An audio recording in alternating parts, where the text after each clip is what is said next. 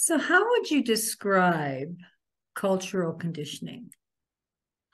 So, cultural conditioning, like you mentioned earlier, it, you're teaching the dog. If the dog is being good, you give them a treat, and then the dog will continue in that particular behavior.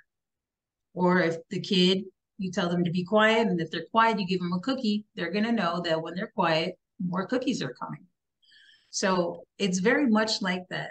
It's a behavior that is cyclical. I think when it comes from a cultural setting, that people won't look at you in a different light.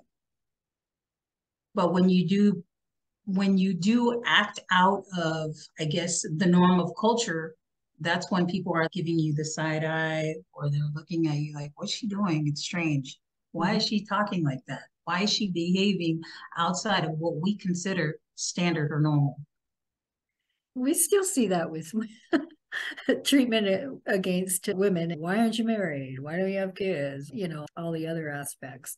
I am not a fan of that.